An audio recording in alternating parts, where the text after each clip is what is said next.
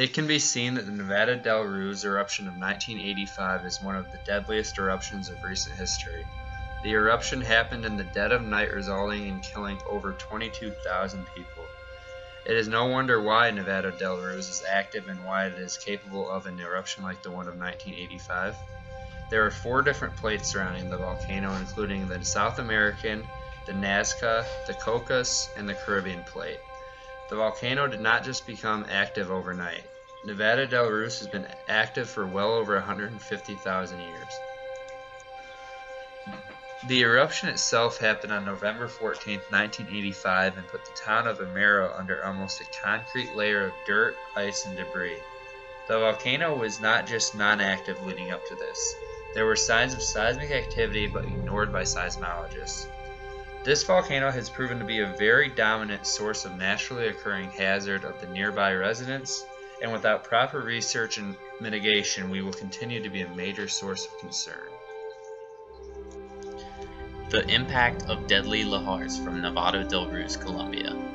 The Nevada del Ruiz volcano is located in the Andes Mountains of South America. Nevada del Ruiz is the northmost and highest Colombian volcano with historical activity. With a summit elevation of 5,389 meters, the volcano is covered with 25 square kilometers of snow and ice, even though it is located only 500 kilometers from the Earth's equator.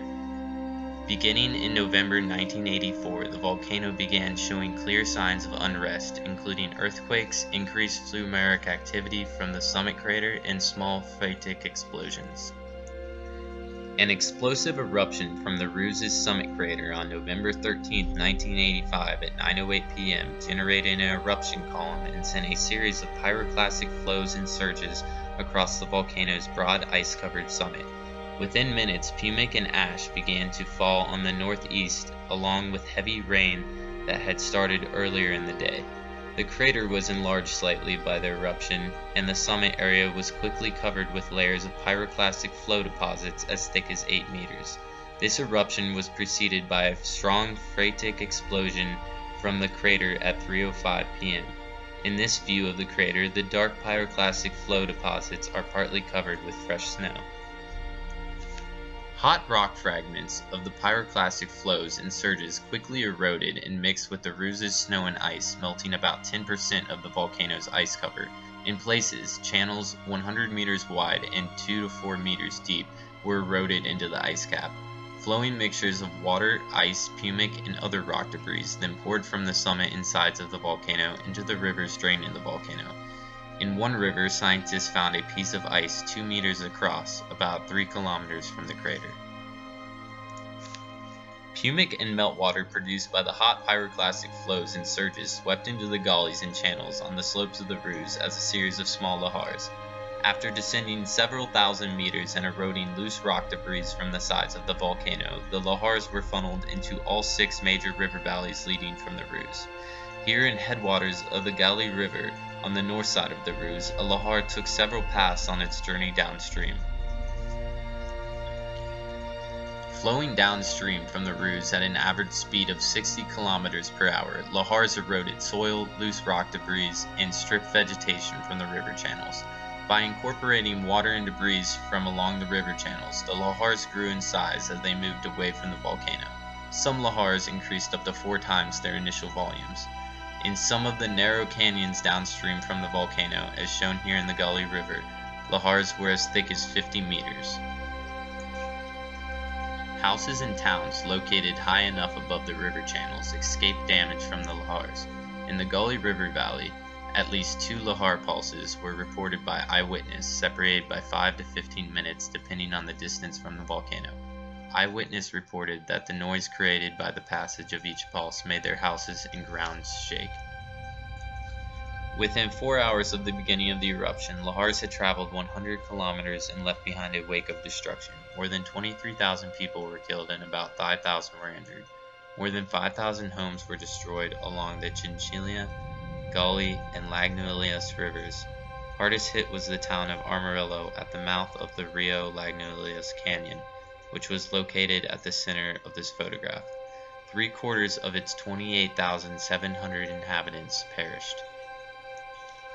Accounts from survivors indicate Armero was inundated with several pulses of flowing material.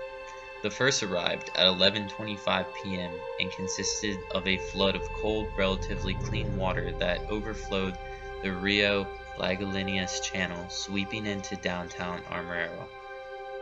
Only a few centimeters deep in town, this water was from a lake located just upstream and had been displaced when Lahars entered the lake. The second pulse arrived at 11:35 p.m. This was the largest pulse, and within 10 to 20 minutes destroyed most of the buildings and swept away most of the people in Armero.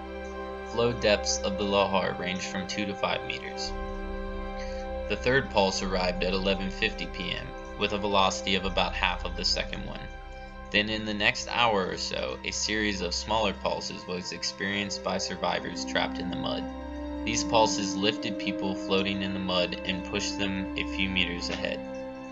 One last pulse struck Armero a short time after at 1 a.m. on November 14th.